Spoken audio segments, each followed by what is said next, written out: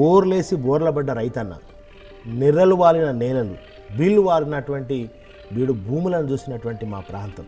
ఇలా కళ్ళరేండా నీళ్ళు చూస్తే రైతుల కళ్ళల్లో గతంలో కన్నీళ్ళు ఉండే నేడు రైతుల కళ్ళల్లో ఆనందం అంటే ఎంత మార్పు?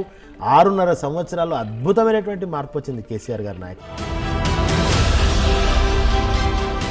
మీ నియోజకవర్గం పరిధిలోకి వస్తే ఎంతోమంది ఆశగా ఎదురు చూసిన లెదర్ పార్క్ తరలిపోతుంది.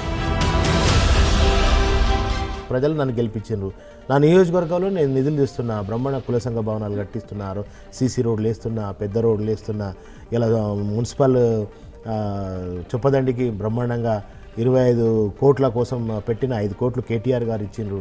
ప్రజలు మనల్ని ఏ నమ్మకంతో అయితే గెలిపించిండ్రో ఆ నమ్మకాన్ని వమ్ము చేయకుండా ఆ నియోజకవర్గ అభివృద్ధి కోసం మనం తల్లాడాలి తప్ప మీ మాటల్లో సాహిత్యం దా స్పృహ పాటల స్పృహ కనిపిస్తోంది. మీ ఆరు గుర్రాలు మా ఆరు గుర్రాలు పన్నెండు గుర్రాల బగ్గిపోతాంది హే పన్నెండు గుర్రాల బగ్గిపోతాంది హే పన్నెండు గుర్రాల బగ్గిపోతాంది పన్నెండు గుర్రాల బగ్గిపోతాంది బగ్గిలో మేనత్త బిడ్డ పోతాంది. బగ్గిలో మేనత్త బిడ్డ పోతాంది. బగ్గిలో మేనత్త బిడ్డ పోతాంది. నన్ను జనరల్గా అజాత శత్రువు అనే అంటారు.